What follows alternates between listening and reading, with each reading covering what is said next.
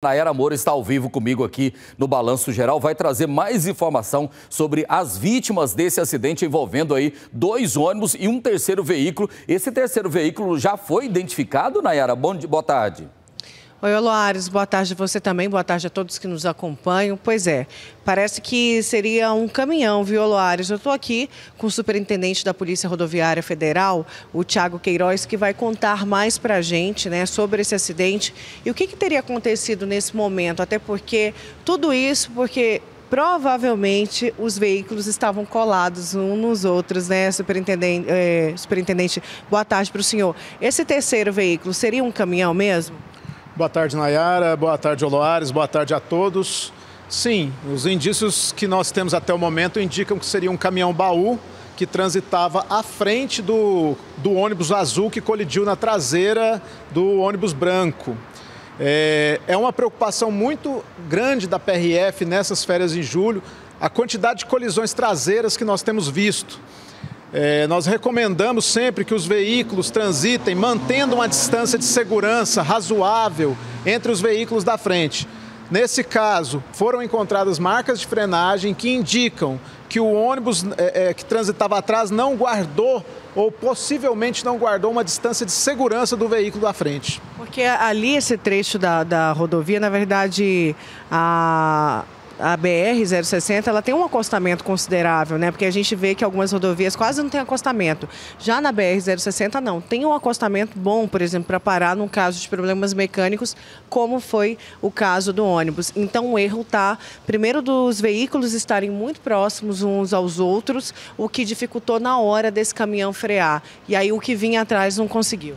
Exatamente. Falando sobre o acostamento, outra orientação que a PRF passa é, ao parar o veículo no acostamento, além de ligar o pisca-alerta, a segurança, a sinalização deve ser feita complementarmente com o triângulo de sinalização, numa distância também segura, ali de 30 metros, talvez até 80 metros, para que Fique bem sinalizado qualquer situação de socorro, de, de atuação mecânica, socorro de passageiro, sempre que precisar usar o acostamento, essa necessidade de uma boa sinalização. Ali a gente vê uma soma de fatores, né? nos parece que o, o veículo que parou foi rapidamente olhar ali a fumaça no fundo do veículo, não deu tempo de sinalizar. O veículo, o ônibus azul, não, não guardava uma distância de segurança e o, o caminhão baú teve que fazer uma frenagem brusca e então também também para tirar para o acostamento, para não bater, acabou ocasionando o acidente. Agora, superintendente, isso é importante que o senhor está falando, porque o que, que tudo indica? Que na hora que o ônibus parou no acostamento, o motorista desceu imediatamente, os dois, né? Pra, e já abriram ali a parte mecânica do carro, né? E nessa, nessa hora que eles abriram foi quando veio um, um outro ônibus e acabou acertando um, um motorista que infelizmente acabou morrendo no local e outro ainda continua grave no hospital. Nesse momento, o primeiro ato deveria ser sinalizar com um triângulo depois de mexer no carro?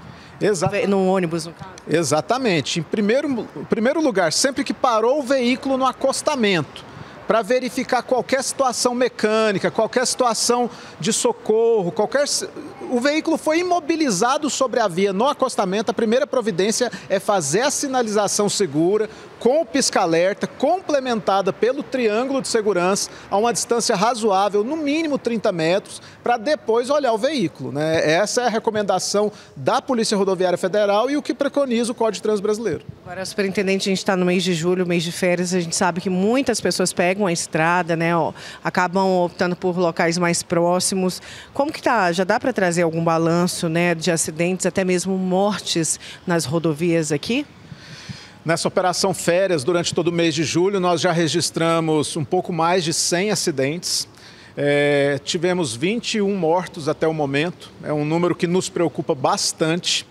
E, e outra situação, a gente percebeu que a maioria dos acidentes são saídas de pista, colisão frontal e colisão traseira. O que, que isso significa? Significa que o motorista ainda está fazendo uma viagem está adotando um comportamento imprudente no trânsito, não está desenvolvendo a velocidade compatível com a via, está excedendo a velocidade, não está guardando a distância de segurança de, do veículo que vai à frente, isso demonstra ansiedade, não está planejando corretamente as ultrapassagens. Né? Então, tudo isso colabora para o aumento do número de acidentes, além da quantidade de pessoas usando as rodovias federais. Nós estamos aí com cerca de 3 milhões de turistas transitando pelas rodovias federais do estado de Goiás.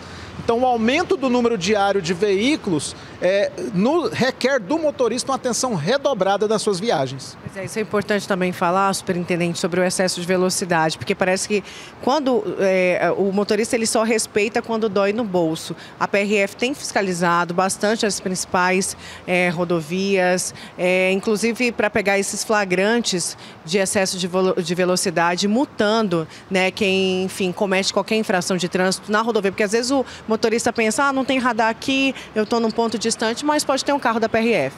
Exatamente, a PRF está posicionada nos principais pontos críticos de acidente, nos principais fluxos turísticos, né, de destino turístico do estado. Para vocês terem uma noção, nós já flagramos mais de 3.700 imagens de excesso de velocidade nessa operação férias. Já fizemos mais de 150 autos de infração de alcoolemia, de embriaguez no trânsito, durante, nesses vários pontos do estado. Já flagramos mais de 260 pessoas sem cinto de segurança, o que eu considero um número absurdo, porque isso é muito básico. E, por incrível que pareça, flagramos mais de quase 60 pessoas, 60 motoristas transportando crianças fora da cadeirinha, o que é uma preocupação é, é, muito alta da Polícia Rodoviária Federal. Certo, superintendente Tiago Queiroz, muito obrigado pelas suas informações. Olares, o superintendente aproveitou para trazer um balanço né, da operação férias aí da PRF e os números são assustadores, como ele diz, as pessoas continuam não usando o cinto, continuam cometendo excesso de velocidade, continuam também né, não usando a cadeirinha com crianças que a gente sabe que a cadeirinha ela realmente salva vidas. Então fica aí esse alerta também ao motorista. Você viu, uma parada para olhar um problema mecânico que até então poderia ser muito simples de resolver resolver, acabou se transformando numa tragédia. Né? Medidas ali de todo mundo envolvido podiam ser tomadas, desde o distanciamento até mesmo a sinalização adequada do veículo. Loares. Obrigado, Nayara. Obrigado, superintendente. A gente continua aqui acompanhando, né? É uma tristeza. Infelizmente, olha que a gente pode considerar que a gente está no meio do período de férias, né? Ainda tem aí uma semana e meia, duas semanas para a retomada é, é, do, do, das escolas, das aulas e tudo mais. E a gente tem que torcer para que cenas assim a gente não volte a mostrar aqui. Obrigado, viu, Nayara?